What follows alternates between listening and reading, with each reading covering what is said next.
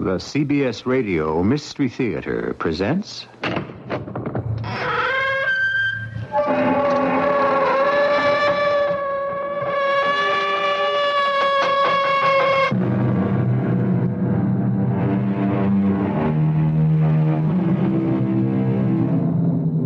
Come in.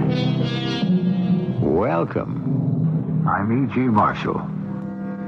What would you do if a child of yours suddenly, without warning, rejected everything you stood for and decided to live his own way? It has happened to you, you say. Or to someone you know? You believe the generation gap only gaps nowadays, do you? I'm afraid that the jet lag of understanding goes back hundreds of years and puzzles parents in many countries, including Russia.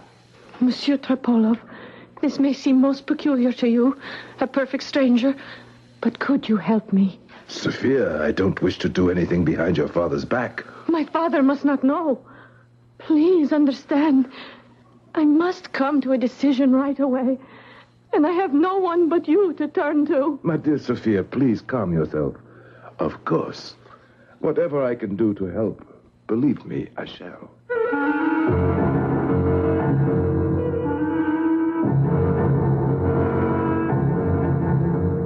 Our mystery drama, Sophia and the Pilgrim, was adapted from the Ivan Turgenev classic especially for the Mystery Theater by G. Frederick Lewis and stars Gordon Heath and Jada Rowland.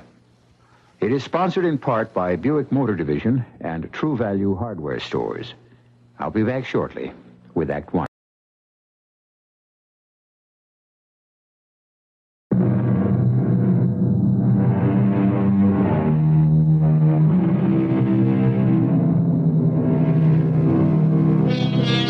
You are in Russia. You are Ivan Tropolov, the census taker. This takes you far and wide. And today into the town of Tula, where you find an old friend, recently widowed. He has done very well in the importing business. Twenty years have passed since you were students together at the university. But it is not the intervening years, his life or yours, that quickens your pulse. But a girl, beautiful, intense, and strange. She becomes very important to you, Ivan Tropolov, from the moment you meet her. Ivan, I want you to meet my eldest daughter, Sophia. Sophia, this is Ivan, whom I went to Leningrad University with. How do you do? This is a pleasure. Sophia takes my poor wife's place, looks after the house, takes care of her little brothers and sisters. yes, uh, of course. Yeah, Ivan is the census taker, Sophia. Hey, you see, my dear fellow, what you're missing? Had you married when I did, by now you would also be the proud father of an 18 year old. Sophia didn't look much like a capable child or housekeeper. In fact, hers was the innocent face of a child. Blue eyes, full mouth, and fair hair that hung down in ringlets. She had an intense, almost astonished look, as though she had just seen something unexpected. I could not quite make her out. How long will you be in Tula, Ivan? A few days. Hey, tell me, do you like census taking? Oh, it's a terrible bore. Every town I go to is much the same. That's why I'm so delighted to find you here, Boris. yes, you were a hellraiser, Ivan. Oh, excuse me, my dear Sophia. I'd forgotten you were still in the room with us. this man, this Ivan Trepolov, the tricks he would play. my dear, we had a French professor with an enormous head, thick black eyebrows, a croaking voice, and he used to wear a green frock coat with black buttons. His name was, uh, what was it, Ivan? Bulovka. Bulovka! in, that green coat, I can see him now. Do you know what Ivan here said to him right to his face? Not Professor Bulovka, but Professor Bullfrog. ah, Ah, funny, huh? The class was in an uproar. uh, oh, you don't find it amusing, Sophia? Well, so now you just go about, notebook in hand, from house to house, Ivan? No, no, no, heavens no. I came from Moscow to make sure the local officials had done a proper job. I check the birth rate, death rate, and so on. They assign some local clerk to help me. In, in Tula also? I have a nice young fellow, Andrei Andreev. Uh, I was going to say, if you are still in Tula the day after tomorrow, there is a big ball in the Hall of Nobility, and you should go. There will be some pretty girls there, and you also see our intelligentsia. Uh, Miss Sophia, allow me to ask, will you be at the ball? Papa intends to go, and I shall go with him. In that case, allow me to ask for the first waltz.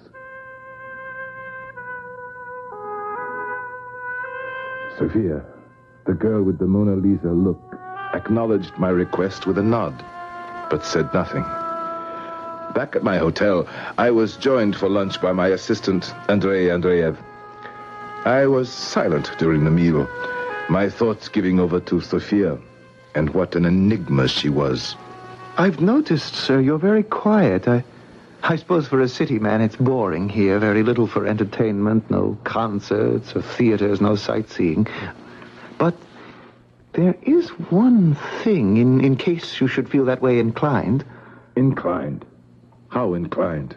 You would not, I suppose, like to behold the dead? The dead.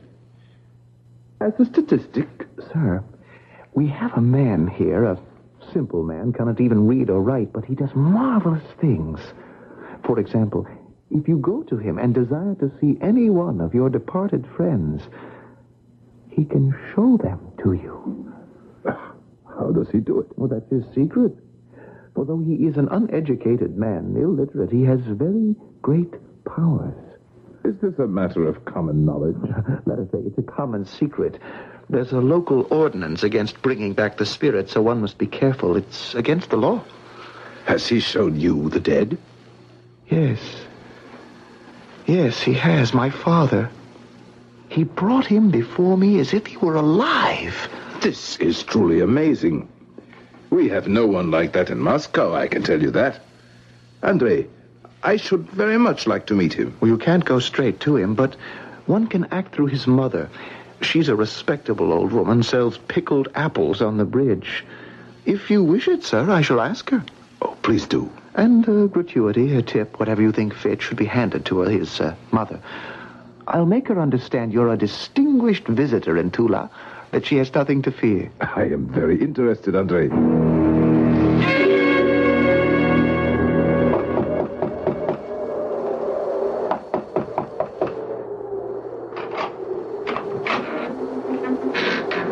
Madame Kapovna, Yes? I am Ivan Trepolov. I believe Andrei Andreev spoke to you about me. I have come about your son. Don't stand in the street shouting where anyone can hear you. Come in, come in. You see, I, I am a little deaf. Uh, what did you say you want? I have come to see your son, to arrange. My son? I have no son. But Andrei told me that you. Did... A son called Andrei? Never. A son called Vasily. Oh, a son called Vasily? Sometimes. You are from the police? You don't seem to understand, Madame Kapovna. Uh, perhaps this will help. Uh, 20 rubles. Fifty. I, I'm glad money speaks in such a loud voice. Uh, my, my hearing comes and goes. Yes, Andrei told me about you. Please, take a chair. You don't need to explain. You wish to sample the art of my son, Vasily? I am glad I am well recommended. So when may I see him? Your son. My son? Oh, tonight. Uh, come a little after seven. Not to this room. You will find the front door open. And kindly walk up those stairs straight to the room above. Thank you, Madame Karpovna. Uh, now, if I may, I, I shall take my leave. And before you come here, sir, think hard and well of your deceased friend or relative you are desirous of seeing. Keep him in your mind until my son enters the room. Should I not tell your son who I wish to be called up? His name? Not a word. He will find out for himself. So, uh, a little after seven, then. Oh, half past seven, if it is more convenient. And bring a few more rubles. Expenses are high. Uh, another ten rubles. Speak up, I, I am a little deaf. I said another ten rubles. Another 20, that's right. 20 rubles. Don't forget. I took leave of the old woman and returned to my hotel. I was sure they were going to make a fool of me. I sat myself in the hotel dining room, ordered a bottle of Lafite, and was enjoying it when who should I see walking in the door but my university friend, Boris? Ivan, may I join you? I have only a little time. The town council meets tonight. I generally stop here for a bite to eat when I'm in town. Certainly. What are you doing later this evening, old friend? Why do you ask? The council meeting won't take but an hour, and I thought you might join me at home for a nightcap. Oh, I'd like to, Boris, but as a matter of fact, I have already made arrangements to go somewhere. You know people in Tula? Well, have you heard of a man who can call forth the dead? Ivan, come now. You, a sophisticated man from Moscow? Only for amusement. I'm curious, that's all. My dear old friend, I advise you don't bother. No, I wouldn't waste my time. To tell you the truth, I thought I'd test the chap by trying to get him to materialize old Bulovka. Our old Bulovka? The bullfrog? Nah, he'll never bring old Bulovka back. He does. Well, I shall have to admit he's a sorcerer indeed. Oh, goodness, will you look at the hour? I shan't have time for dessert. You'll forgive me, Boris, if I run. But we shall see you at the ball, eh? Sophia, I can tell you, she would be very disappointed. Was I imagining it? Why was Boris so insistent I see him tonight, tomorrow? Frankly, can you blame me for thinking he appeared to be pushing his daughter at me? But why? I allowed myself half an hour to walk to Madame Kapovna's.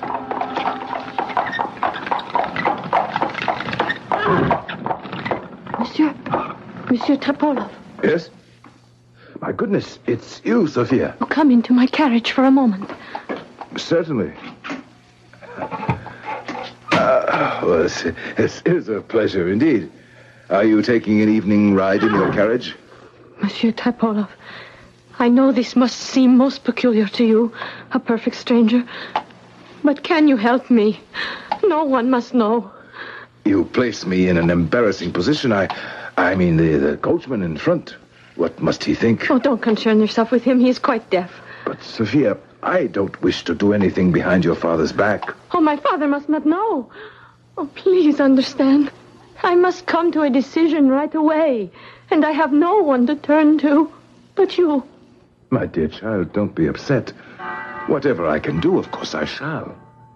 Is this something you must decide this very minute? Tonight? Soon. Very soon.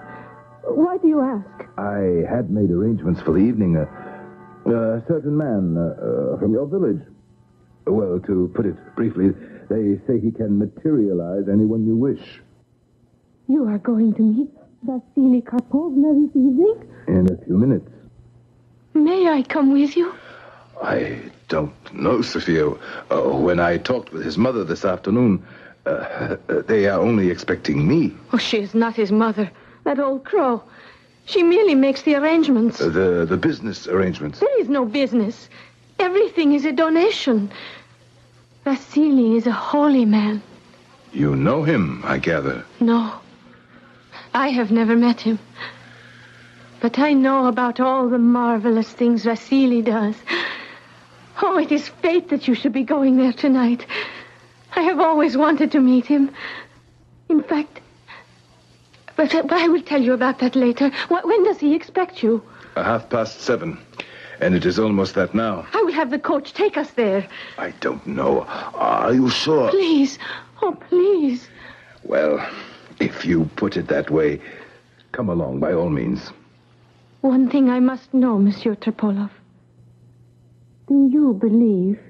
Believe that he can make the dead appear? Do you believe? It is essential. Well, I, I have never seen him before. I. Yes. Yes, Sophia. I believe.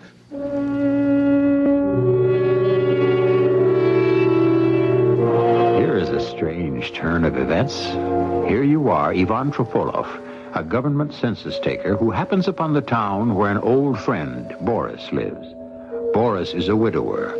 His daughter, of 18, is beautiful, and yet is troubled. So much so that she seeks you out, Ivan, in the streets of Tula to ask your help. Let's hope we shall learn more when I return shortly with Act Two.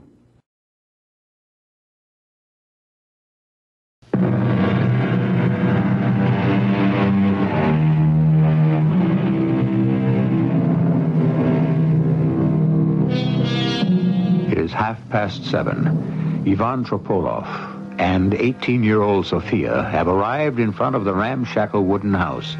Its shutters barred, its front door open. The girl seems not frightened at all. Ivan, who had thought the evening a joke, is suddenly apprehensive.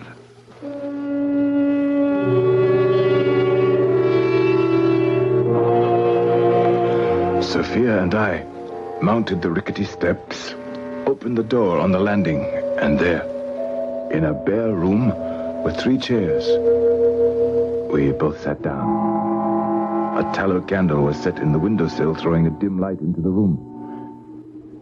We waited, Are you concentrating concentrating. on who you wish him to bring to life? Oh, oh, of course I am. Oh, it is fate that has brought me here with you. You do believe in the inevitability of fate, don't you? I don't know, my dear child. I cannot honestly tell you I ever thought I could control my own fate.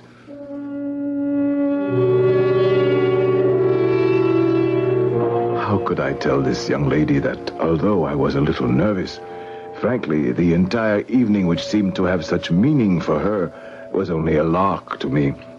A light-hearted way to pass a dull evening in a small town. We waited for ten minutes. Fifteen.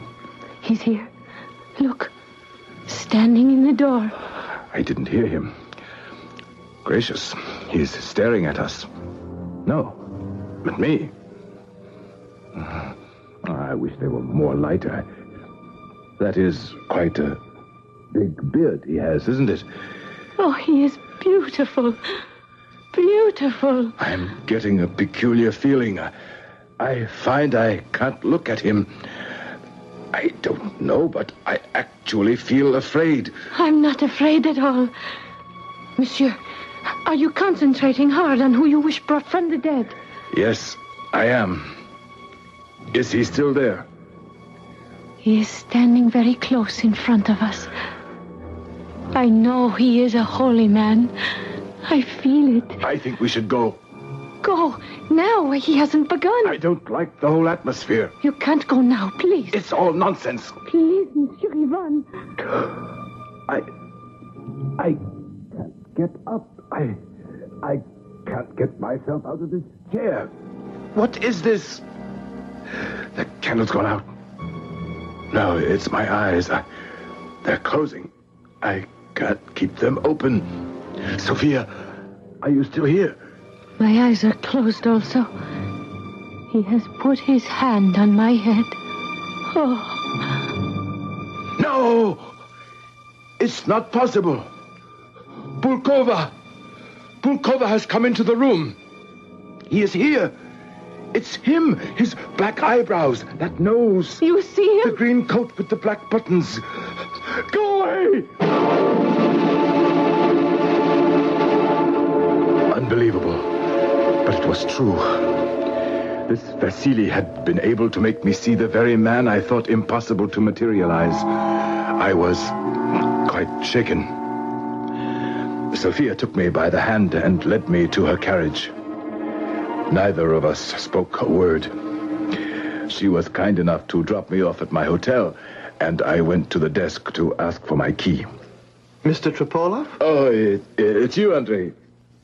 Uh, why are you here so late? Pure curiosity. Uh, sir, you you saw him? You waited until this hour to hear about my adventure? I admit it. oh, there's not much to tell. Andrei! That man. No, no, Tenore. The one who has just come in the hotel door. Do you know him? Oh, uh, yes, yes, he was here earlier. I I heard him asking for you at the desk. Andre, I don't wish to talk to him. I shall go up to my room. It was Boris, Sophia's father. I managed to get into the lift and into my room without being observed. The day of the ball at the Hall of Nobility, Boris sent a message reminding me of the engagement I had made with his daughter. At 10 o'clock that evening, I was standing by her side in the middle of the ballroom waiting for the orchestra to strike up the first waltz. Shall we dance, Sophia? Did you tell him? Tell who what? I know my father wants to know about the other evening. As a matter of fact, I haven't seen your father since. You don't wish me to? No. Please. Would you allow me to say, Sophia, you are very becoming in your white gown. Thank you, Monsieur Ivan. And that turquoise cross you are wearing. Lovely. A gift from a girlfriend. Oh, is she here tonight? No. She is one of them. Oh, She has gone away. She gave it to me as a parting gift. what? Uh, what did you think of the other night? Oh, I haven't stopped thinking about it. Oh, if you only knew. That saintly man is everything everyone has said. Did you see what he made me see? Oh, no, but I could tell. The vision was in your eyes. There could be other explanations, scientific. For you, perhaps.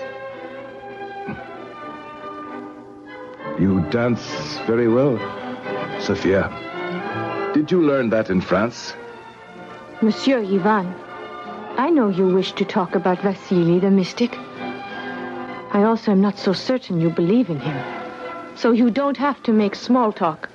My dear little Sophia, I am more than twice as old as you, and I have seen much of the world. There is such a thing as magnetism. One man's will brought under the influence of another man. But Vasily's will is more than human. It is the will of the Creator. Oh, I don't know why I thought you would be different from my father. More understanding, perhaps. But I see not. You are just the same.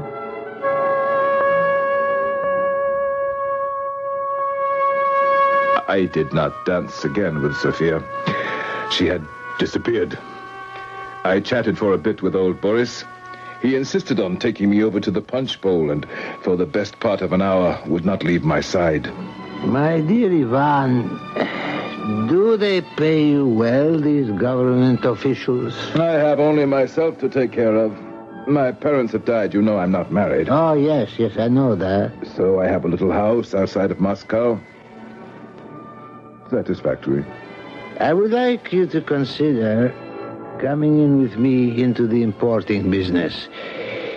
Ever since my wife passed away, uh, she used to work with me side by side. I have no one, and it is lonely. My dear Boris. uh, Don't say no. Say you will consider. I saw the way my Sophia looked at you while you were dancing. You will admit a beautiful, charming girl, huh? None more beautiful. Boris, you must be joking. I'm the same age as you.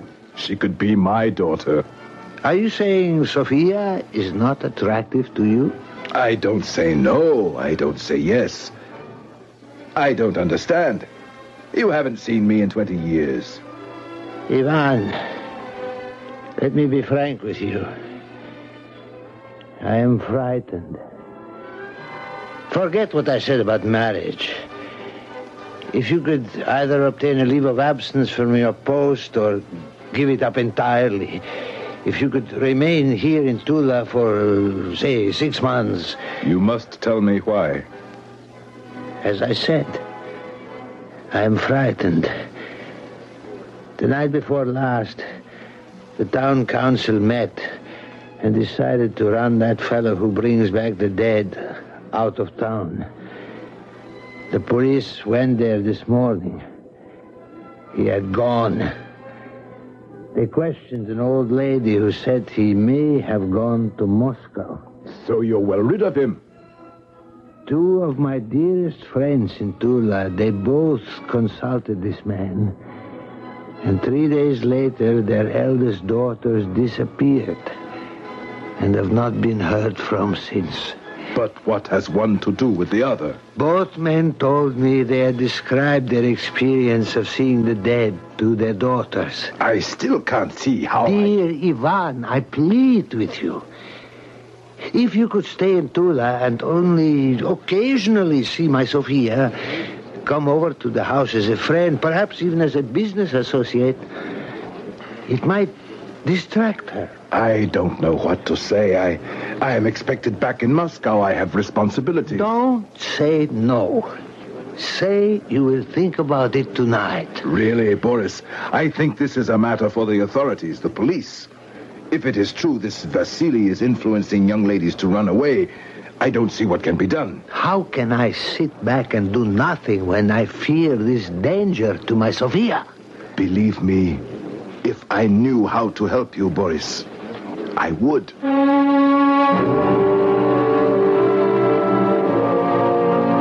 I was being torn in two. On the one hand, if this extraordinary Vasily was the cause of these girls leaving home, or if nothing else, making them realize how dull life in this town was, what could stop their escape? I did not wish to become enmeshed in their problem. What good could I do? I decided to leave for Moscow by the earliest morning train and had Andrei Andreev accompany me to the station. I had no idea your census work was done. It isn't, Andrei. They shall have to complete the report without me. I don't understand. Were you recalled to Moscow? No, I must leave. It, it's a personal matter. I don't wish to pry, but I, I will be asked what happened. They will send somebody else from Moscow if it's necessary. I think we had better hurry and get my bags onto the platform. That's my train, isn't it? I will help you. Andrei, thank you again for all your assistance. I can manage the bags, thank you. All aboard! All aboard! Goodbye, Ivan. That girl getting onto the train. Sophia! Sophia! Eh, into the last car. All aboard! Get on, Ivan. Get on. The, the, the train is moving.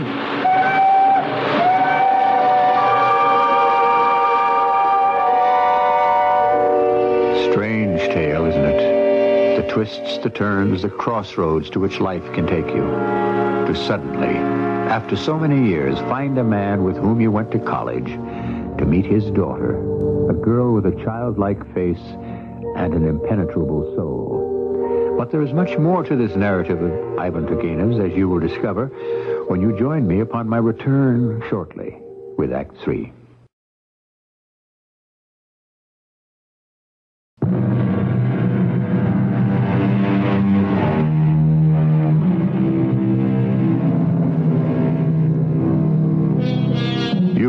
Ivan Tropolov, suspect that the beautiful daughter of your school friend is running away.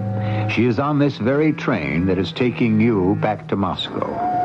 Although you are reluctant to become involved in other people's problems, if Sophia is on this train, you must find her and dissuade her from anything foolish. I remembered our last dance and the words she had said to me. I am disappointed in you, she had said. I, I thought you would be more understanding than my father. You are just the same. I walked along the train corridors, through coach after coach, looking into each compartment, into each seat to find her. When I did, I would prove to Sophia I could be understanding.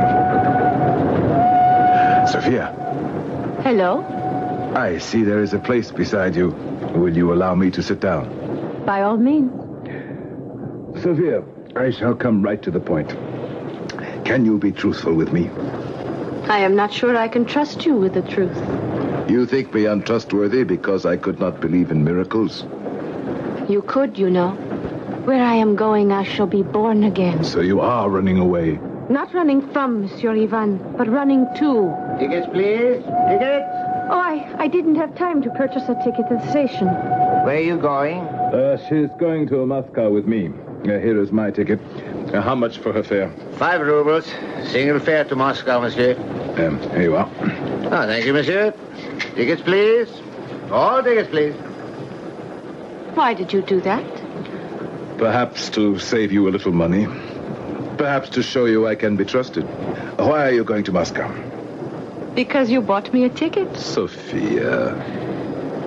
to find a teacher, a leader, a spiritual leader. You are giving up your father, your brothers and sisters for a spiritual life. Oh, Sophia.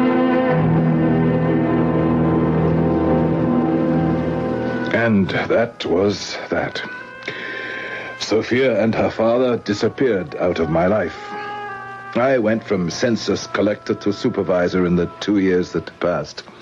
Oh, yes, occasionally I thought about Sophia, and I suppose because I am still not married, wondered what became of her. But fate plays tricks, and one evening, while traveling, a sudden storm forced me to spend the night at a posting station inn. May I have a lodging for the night? You must be wet through and through. Uh, do go sit by the fire, sir. I shall bring you some kvass. Our axles sunk into the mud three times. Ah, my poor driver. Take off your boots, sir. If I can. I'm exhausted. Here you are, sir. Drink it all down. It will raise the spirits and lower the fever. If you will excuse me, I shall go prepare your room. Ah, thank you. And could you bring me a samovar? Oh, uh, what is your name? Akulina, at your service, your lordship. I was given a room with a broken down sofa, a sloping floor, and torn paper on the walls, but at least I was indoors and drying out.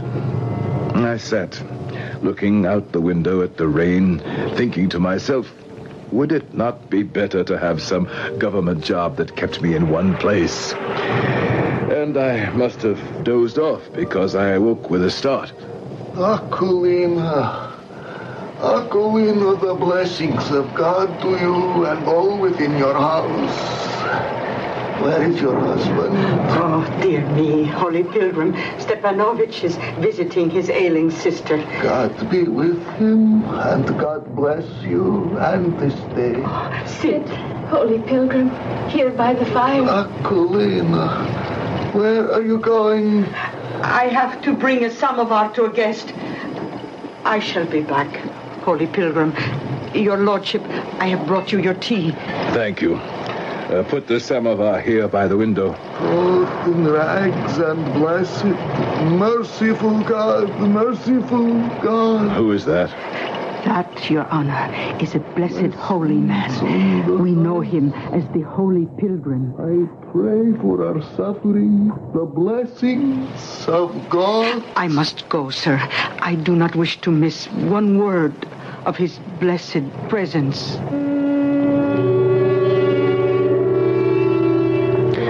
Pilgrim was sitting with his back to me. In front of him knelt a frail-looking woman whose face I could not see. She was trying to pull the boots from the madman. Akulina, have you any oil? The pilgrim has a wound on his foot. Oh, a Magdalene. A Magdalene. I, I, I will fetch you some oil.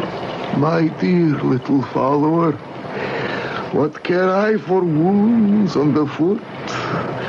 I am to walk the highways and byways and preach denial, so I must deny myself also the comforts. But, Holy Pilgrim, your foot is bleeding. Here, here is some oil I have spooned from a lamp. Ah, my sweet child, my dear daughter, I am so tired. Thank you, Akulina, for the oil. Oh, for that saintly man, anything. Do you have some hay, Akulina? Vasily likes to sleep on hay. Oh, to be sure there is. Come, come this way. I see a man standing by the fire. God asks me to bless him. Bless you, my son. Bless you. Thank you. God will arise. Remember that. God will arise.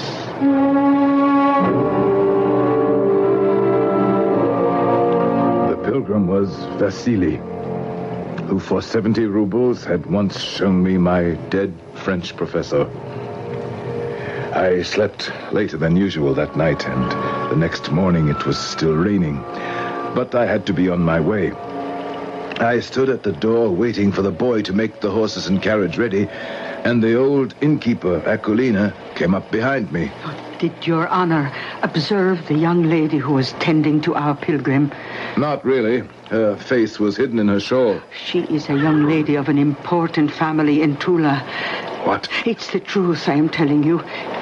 Before you arose this morning, some merchants arrived from Tula. They saw her fetching water from the well, and they recognized her. Is the pilgrim still here? Oh, He has gone to meditate in the fields. And the young lady? She is still drying out their clothes in the kitchen. Thank you. I shall go have a word with her.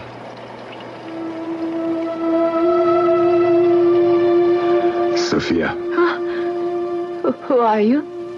That is not my name. it was your name. Sophia. Do you not remember me? Ivan Tripolov. My, my name. My name is. Don't cry. If you don't wish me to call you Sophia, I shall not. Oh, my dear girl. Two years. Two years. No. I have found the light. And that is all that matters. I say to myself, it can't be you. In such a dress. In such company. Whoever you are, You know who I am. part of my childhood, perhaps. But why? Why? Do not leave your garden unweeded. Do not step over a sick dog in the road, unmindful. Do what your heart tells you you must. You are thinner. Your skin is burned. Do not talk of exteriors. You cannot see the happiness in my soul. The child in you. Where is she now? There is hardness there. No good will come of your talking this way. Vasily will return from the fields, and I shall go with him. I shall plead with him to let you go. I do not want to leave him. He is the reason for my existence. Rain, the rain is cleansing. Ah, good little follower, you are drying our clothes. God have mercy on all of us. I shall sit here and remember the sun and the moon and the stars. No, no, Vasily, do not sit. There is danger here. We must go. Danger? We must go now. There are others who await your good words. So be it, my good girl. We shall go. Help me fasten my cloak. Yes, please hurry. Oh, you, you are leaving so soon? But the rain is coming down harder. Oh, Your Holiness, I beg you to wait. Come along, Vasily. We must hurry. Yes, yes. The blessings of God upon this house. Sophia! Why did they leave so hurriedly like that? Oh, well, we must be thankful for the blessings bestowed on us and not wish for more.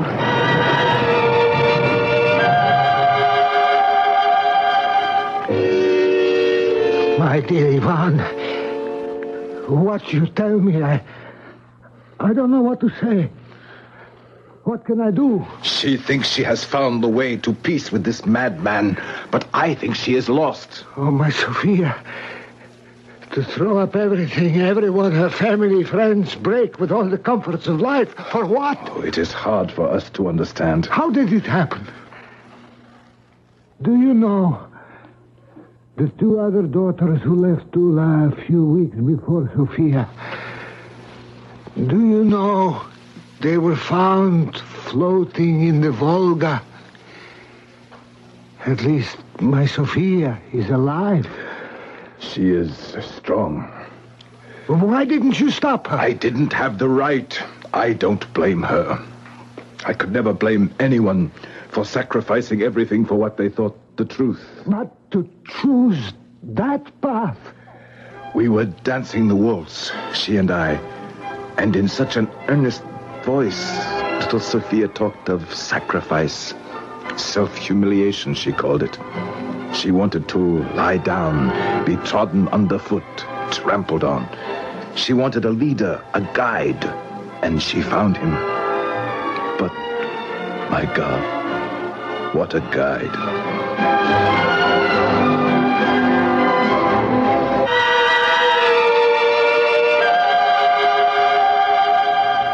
Months later, I heard her father had found her and brought her home. But like a wild bird in captivity, she sang no more, spoke not a word, and died. I console myself sometimes in the thought that dear, impetuous, strong willed Sophia, in her own way, lived an entire lifetime.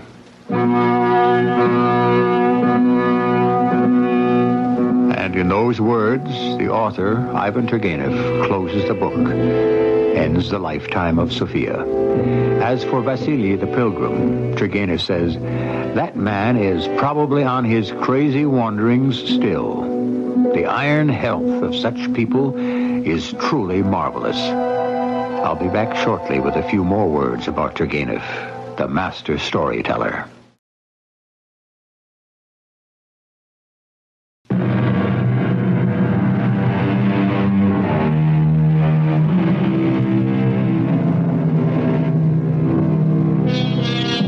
Did you ever get the idea that the young and what they wish to do with their lives is a problem unique to today? Ivan Turgenev wrote about Sophia and the Pilgrim in 1881, almost 100 years ago. So powerful were his stories that some of them even influenced the Tsar to liberate the serfs. But for all the mystery and magic, Ivan Turgenev always wrote of hope.